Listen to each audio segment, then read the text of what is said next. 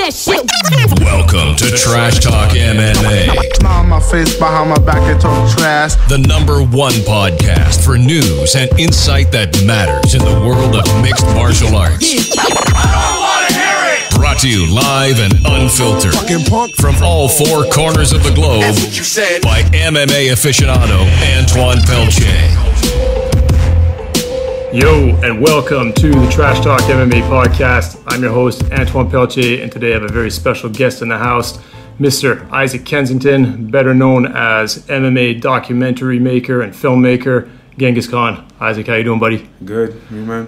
Excellent. Well, it's cool, man. Uh, thank you for coming back. Uh, we tried this one time, and I had a difficulty with the mic. We lost the recording, so we got to come back and, uh, and outdo ourselves this time around. Yeah. Awesome. Um, lots to talk about. Uh, you're in Phuket right now, and you're putting together and launching uh, Phuket Dreaming Season 2 for Phuket Top Team. Tell us a little bit about that. All right, season one, we got. I, I came out here originally to film Phuket Dreaming. It's like a series on basically all the fighters that live and train in Thailand that like come out here to like live full time and also their lifestyles and everything that goes behind it. And like season one did pretty good, and yeah, we're just starting on season two. And season two is like uh, we got a lot of new fighters on it, like Thiago Tavares. We got some K1 guys down here. We got uh, Cyrus Washington, aka Black Dynamite. Rob Lisita will be on it. Uh, Junie Browning. There'll be a lot of lot of new characters, plus with a lot of the old ones, and Luke Luke also. So, when Phuket, how, how did, what was Phuket Dreamer? What was its original purpose? Like, who came up with the idea for this show?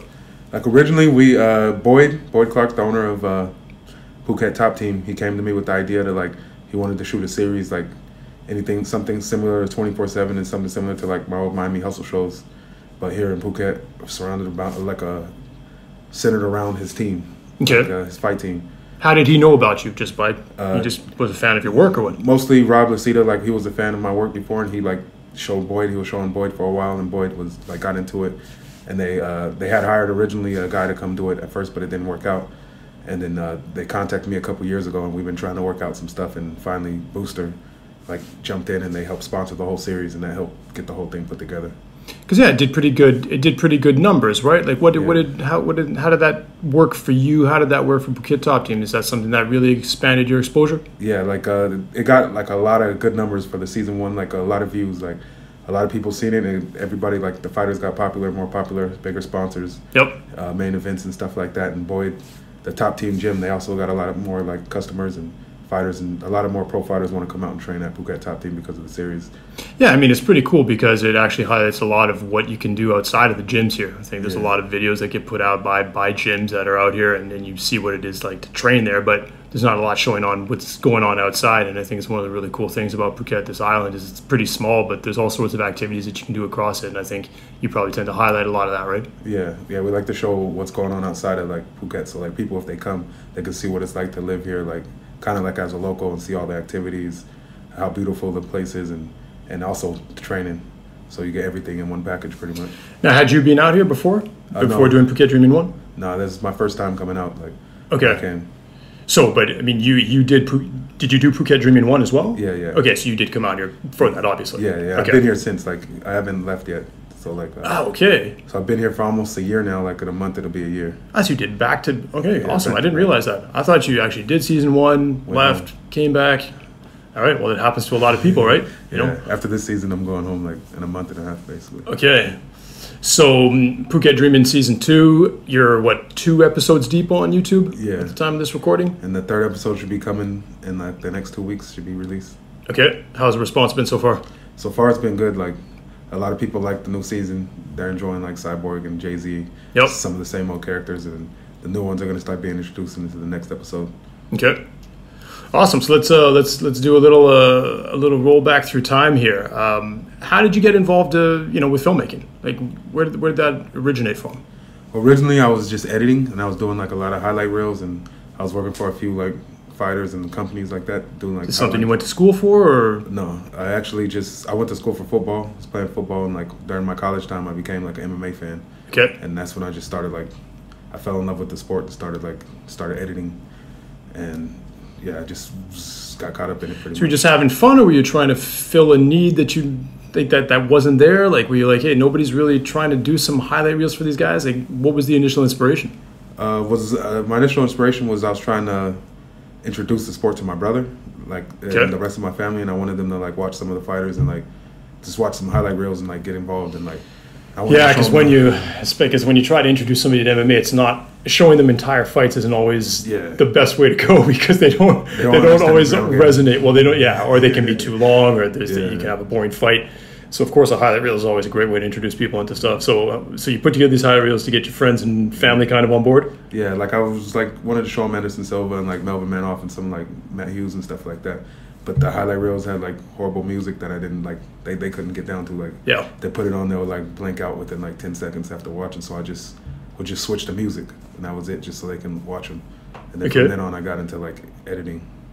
What what sort of uh what sort of setup did you have technically?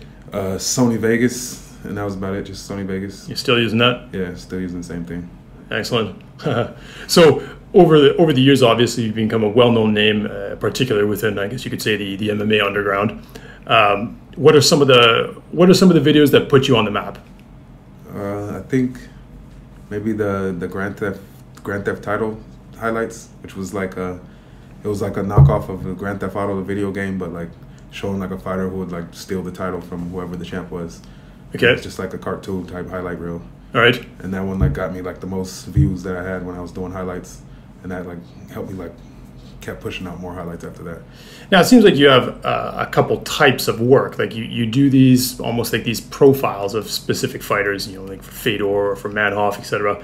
And then you also do this documentary style work. Which which one do you gravitate towards the most? I mean, it seems like the, the, the documentary style stuff has kind of taken over the highlight reels. No, Yeah, the documentary stuff because more when I'm filming, it's better to do like the documentary style stuff because I can tell a story.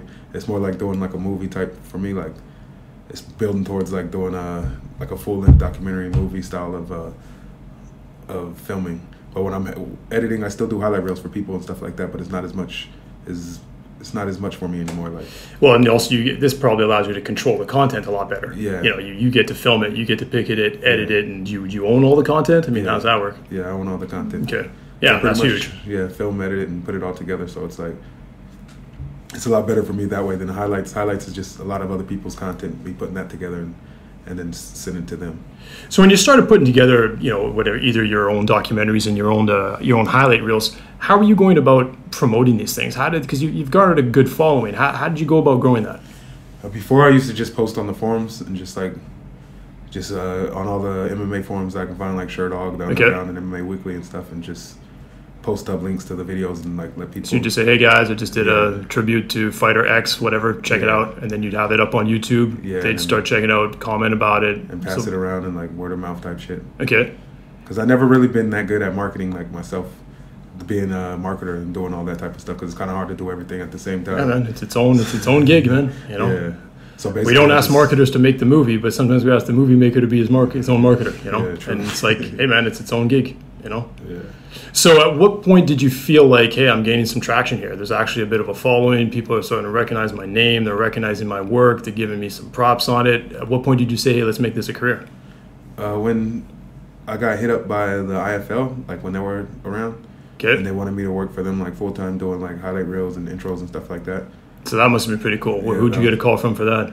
I don't remember the guy's name, Yeah. but it was like a long time ago, and like I used to work directly with them, and I used to do a lot of. They used to have me do a lot of like my own highlights, but just like with IFL fighters, Okay. and then like promo stuff for like their TV shows and stuff like that. And that was pretty cool because it was like good money at the time, and I was able to stop working regular job and just do highlights. So between the time that you started doing this as a hobby and then you started actually getting paid for it, how many years of kind of paying your dues did you put in? Uh, like maybe a year and a half, two years. Okay. Like Actually, that's not too bad. Highlights, yeah, they, they they contacted me like pretty quick. And then you know, it MMA work was always off and on. Like you'll have something for a little while, and then Yeah, something yeah. else pop up, or you know. So a lot of your films, I mean, wh- what what's the one that's garnered the most views? Like, what in your opinion is the movie that's or the the film that you've put together, documentary that's been the most successful? Um, Miami Hustle, the Okay. original Miami Hustle was like when we first put that out. The first couple episodes were like really, like really popular. They were blowing up. We got like a lot of hits real fast, and like So, what was the premise behind that, and how did that come together?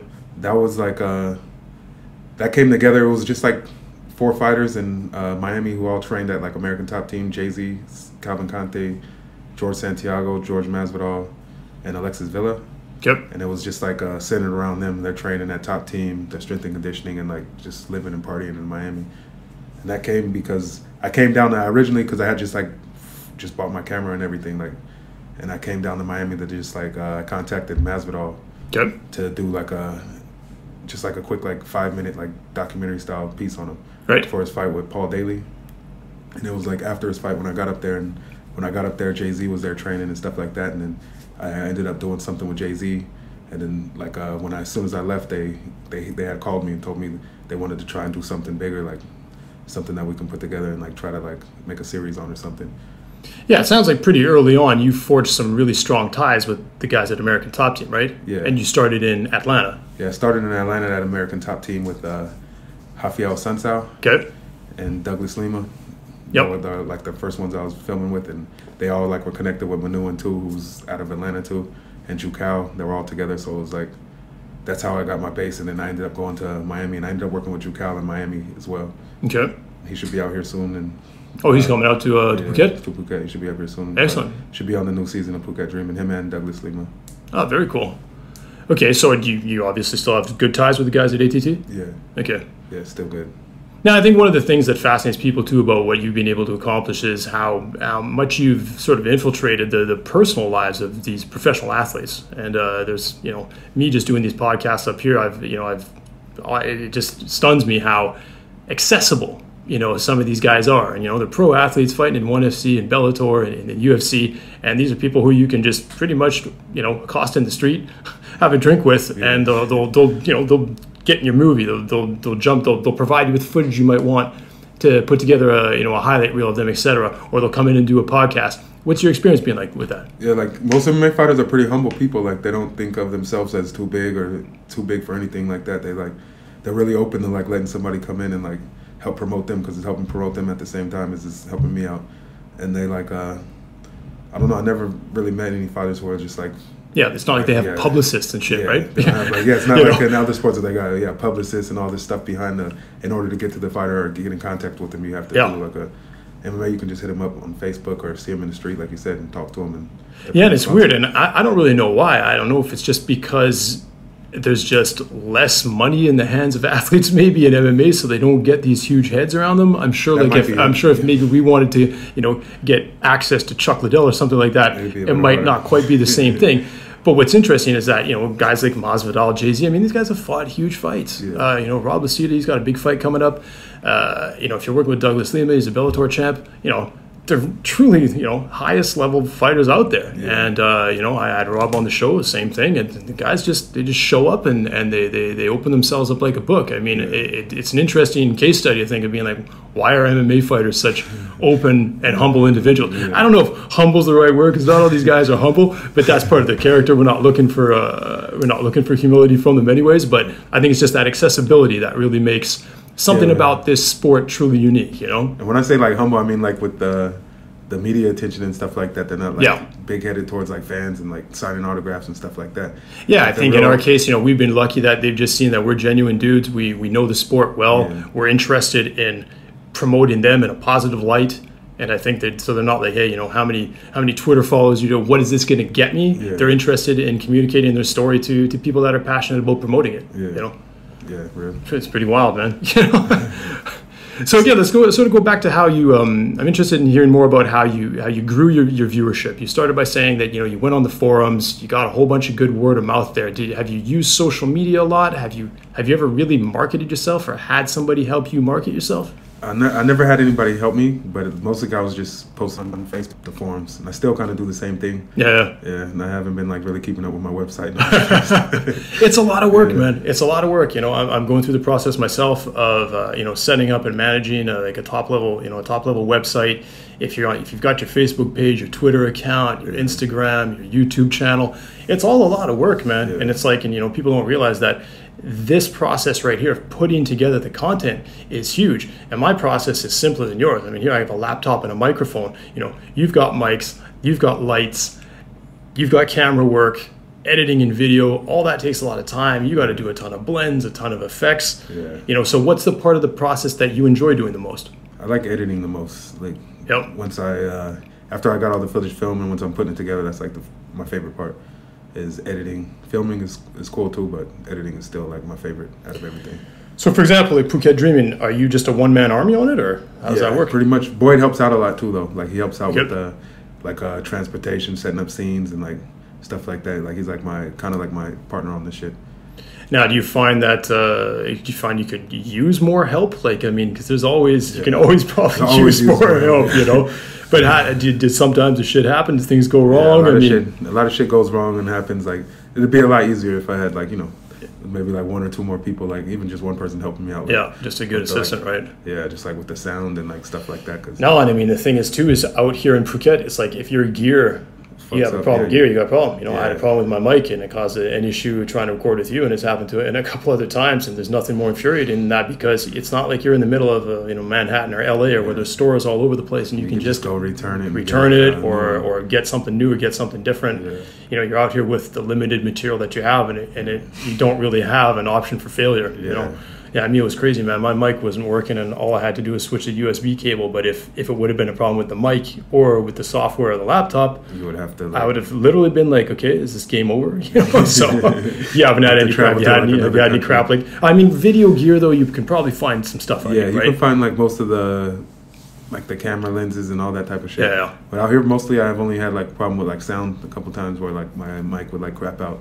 Like now I'm working with the mic is like only one level. Hit me up, dude. I'm the sound. I'm the, I'm the only sound guy around here, right? Yeah. So what's uh, what's going to keep you? I mean, how long you out here in Phuket till? Uh, till the middle of June. Eight episodes of uh, Phuket, yeah, Phuket Dreaming. Okay, how much? How long is the production of each episode? Each episode usually like uh, it depends because we're we film a lot of stuff. So like uh, like right now I got enough film for like about six episodes. Okay. and then but I'm editing like the third one right now, so that's like, Okay. And usually editing takes like two three weeks for each episode, and it all depends on the film schedule too. So I can't like really see how long each Yeah, yeah. episode would do. Like So when you get back to Miami, what's on the uh, what's on the agenda?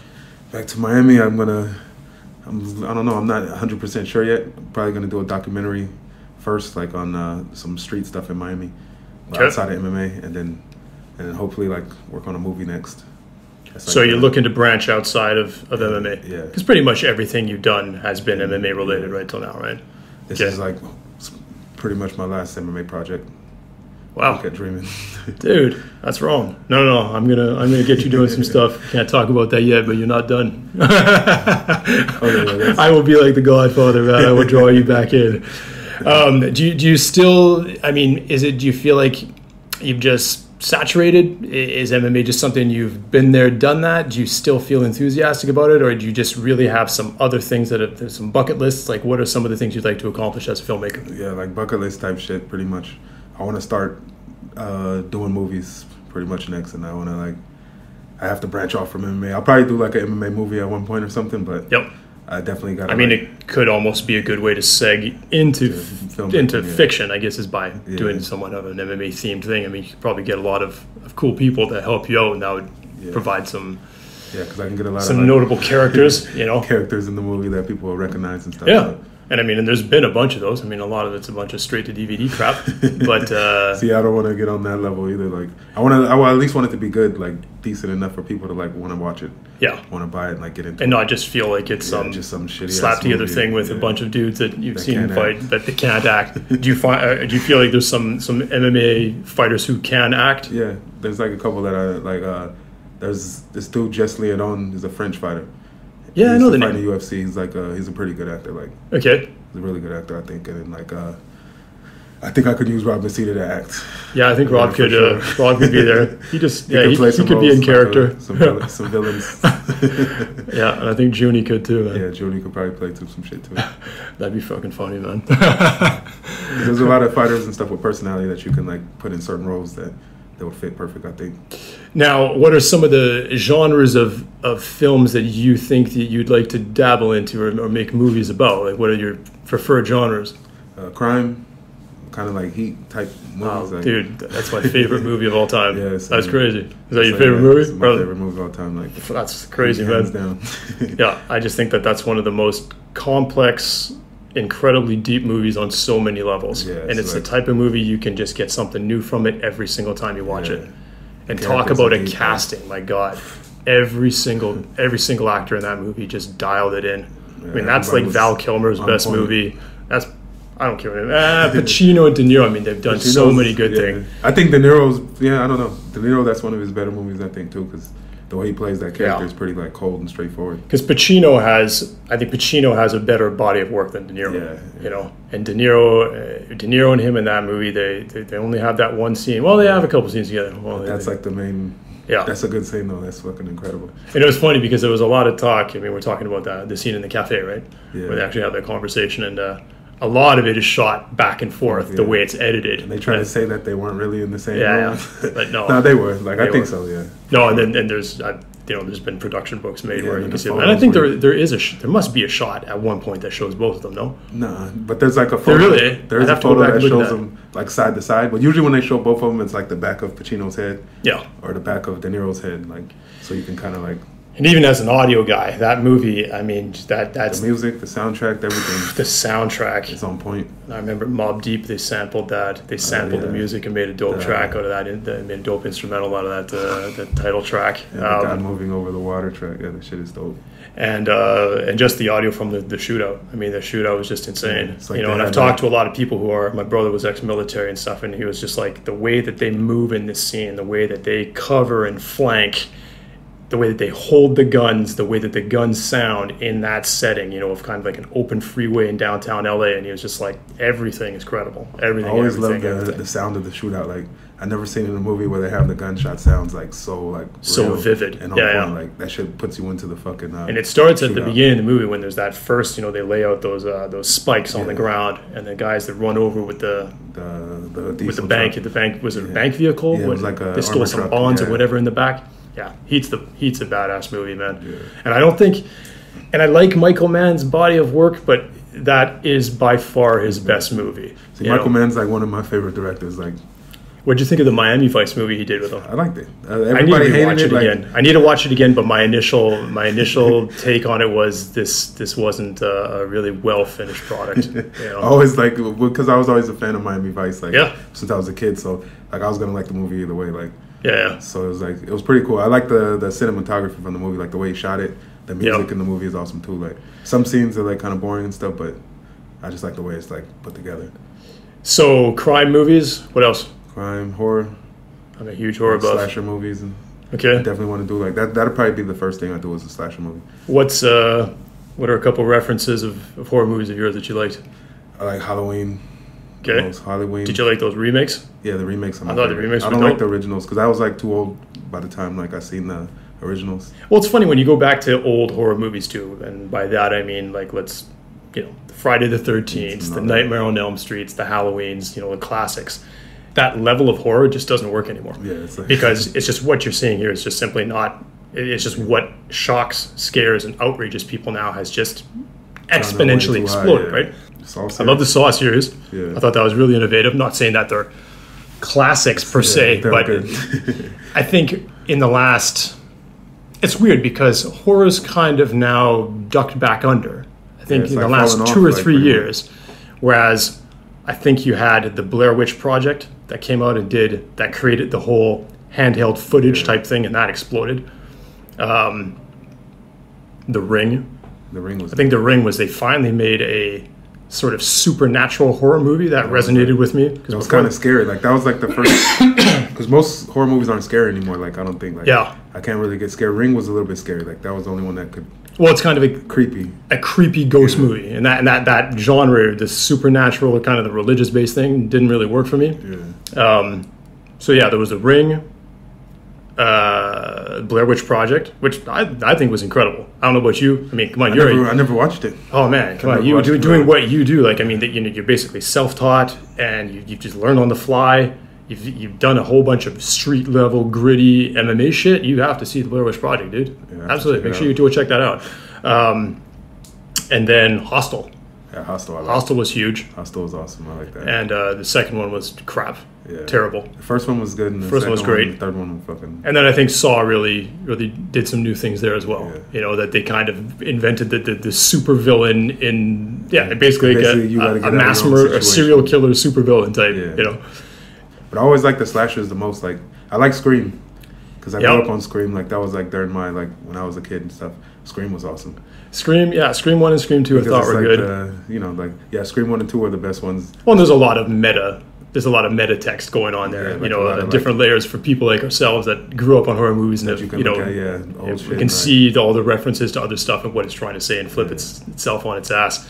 Um, if you're a, you're obviously a huge horror movie fan, uh, I can recommend some great French horror movies. There's one called Martyrs. Got to see that. Heard of it, but I never watched it. Yeah, it's a it's a real cult classic. There's another one called Frontiers, like the word frontier, but with the S between parentheses at the end. I'd sort of qualify that as a uh, as a Texas Chainsaw Massacre meets neo-Nazi insanity. Yeah. Really, really good, incredible movie. Um, High Tension. High Yeah, Tension. I was, uh, that movie. I You've seen that that by Alexandre Aja, one of my favorite directors, who did um, the remake of The Hills Have Eyes. Which, Yeah, I if like you that haven't seen too. that, I like that's absolutely bananas as well. I like both of those. Um, High tension is awesome because that shit keeps you on the edge pretty much the whole movie. Yeah, that's a really crazy one. And then one of the greatest French horror flicks. You got to see this one in French. In French, it's called à l'intérieur, which means inside. Oh, I- so, I- yeah, I've seen that. Have you seen Inside? Yeah, What'd you think of that? baby, yeah, that one was dope. Dude, that was, that movie from top to bottom. I mean, it had that. Those that actually had like world class French actors in it. I thought that the setting was unbelievable. The way that it ends is unbelievable. Yeah. The uh, all the prosthetic work was incredible. I mean, gory as hell, Yeah. but it, done tastefully, done, it you know, good. and Like, it done like, done very very well. There's another one called um, Le Calvaire, which means the the ca- uh, how do you tra- translate that to English? Is it the cal- Calvary? What is it called? You know, the path that Jesus walked. Uh, You know, for his crucifixion. Was it called? I think it's called. Yeah, it's either the the, ca- the cavalry. But I'm thinking no, the cavalry is like the Like people when who come, come in come to save, you. you. anyway, Le, uh, Le Calvaire, C A L V A I R E. That's a really. Uh, it's like a journalist. I think gets kind of lost in the backwoods and ends up in a in a really really rural ass backwards town where people aren't all right in the head. yeah. Uh, and bad things happen to him. yeah, that sounds so. Uh, that was good. Yeah, the French went on a tear for a while there. Um, but yeah, Martyrs, Frontiers, High Tension, Inside. Inside. Yeah, those ones are must see. If you haven't seen Martyrs, get on Martyrs. That one's crazy as well. Yeah, I'll check that out. No. Right on, man. So, I mean, do you have any? Do you have any sponsors? Like, uh, Like well, for the series, we have sponsors. Like yes, you have. So, we have Booster's BJ still involved. Yeah, Booster, BJPin.com, Fitness Hanover. Okay. It's a German company that does like gear out of Germany. All right. And uh, Yeah, there you go. Yeah, yeah, that's about it. I think. Okay. And the last thing I those three are wanted, the last thing I wanted to, to ask you about for sure is, uh, I'm a big fan of your um, the documentary or the, the the highlight reel sort of tribute that you did to Fedor. Yeah. And I remember seeing in that movie, I was like, I was really shocked about some of the the, the exclusive footage. I mean, that's another thing that is kind of your signature is you're, you're able to get footage for these these highlight reels or these tributes. Like, how have you gone about doing that? Yeah, for the highlight reels, I used to like, I used to search everywhere for like mad footage. I used to always want to like use footage that nobody else used, or like that nobody's really seen. So I would like go. Where does that around. exist? Like before, back in in an early time, like uh, a while ago when I was doing it, Yeah. because MMA wasn't as popular, so it was hard to access like a lot of the footage. Like I used to get them off of like Japanese websites and different like Korean websites that would just only post them up in their countries and like, Okay. download them. And then I had like some of the fighters' managers, like Fedor's manager, would used to send me a lot of footage of him in camp that they would film to like use on highlights and stuff like that. How'd you build that relationship, though? I mean, that obviously requires some trust. I mean, not everybody could just hit him up and be like, "Hey, send me a bunch of intimate, sort of, you know, exclusive footage of you that we've never seen." Yeah, like because Fedor, like uh, his manager used to post on the forums and stuff like that. And when Okay. I did like the first highlight of him, like his manager watched it and he like said he showed Fedor and like the whole team and all that. Yeah, yeah. And they liked it.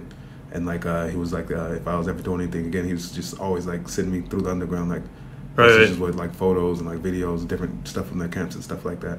So it sounds like for you, like pretty much for your whole career, like nurturing the communication with the fans at the ground level has has worked wonders for you. Yeah. Like, and that that's really been a pillar of your career. Yeah, it's basically yeah, just keeping the trust with the fighters and like the fans. Yeah. And yeah, they usually give me good access. Like That's cool, man. That's cool. No, it sounds like I mean you've managed to build a lot of trust and a lot of great relationships by just you know communicating with people, reaching out to them at a grassroots level, and then nurturing that, helping promote them. I mean, who doesn't want that, right? Yeah, true. Very cool. it's good for both. Excellent. So, how can fans uh, keep up to date on your work, Isaac? Uh, search me on YouTube as Genghis Con Films. Okay. All my work is there, and right now Phu- Phuket Dreaming's on Phuket Top Teams uh, YouTube channel, which is Phuket Top Team on YouTube, All right. and that's the best way. Check out my Instagram too, also Genghis Con Films. I just started that up, trying to like build the online presence. Good. All right. Sounds good. Awesome, man. Well, listen, uh, Isaac, I'm a fan of your work. Uh, I hope we're going to be able to do some stuff together. I'd love to get some exclusive video, uh, you know, material for, for my site and what I'm doing. I think uh, we've got a pretty good idea that we've uh, we've fleshed out in a short amount of time, and hopefully we can start uh, start working on that uh, early summer. Yeah, for sure, man. Awesome, man. Like I said, Godfather style. We're going to drag you back in, man. Can't leave MMA until I'm done. awesome, man. All right, thanks, Isaac, man. thanks for coming through. Thank you. It's been a pleasure. Uh, this was the Trash Talk MMA podcast. I'm your host, Antoine Pelletier, with my guest, MMA documentary maker, filmmaker, Isaac Kesington, better known as Genghis Con. Make sure you hit up his YouTube channel and check it out. Subscribe to his, uh, his Instagram as well. And make sure you follow Trash Talk MMA on Twitter and Facebook as well. We're out of here. Peace. Thanks for listening to the Trash Talk MMA podcast. Who the fuck said shit? Be sure to visit trashtalkmma.com. On my face, behind my back, they talk trash. And don't forget to follow Antoine on Twitter at Trash Talk MMA. Let us know you're listening. Who the fuck said shit? Use hashtag Trash Talk MMA.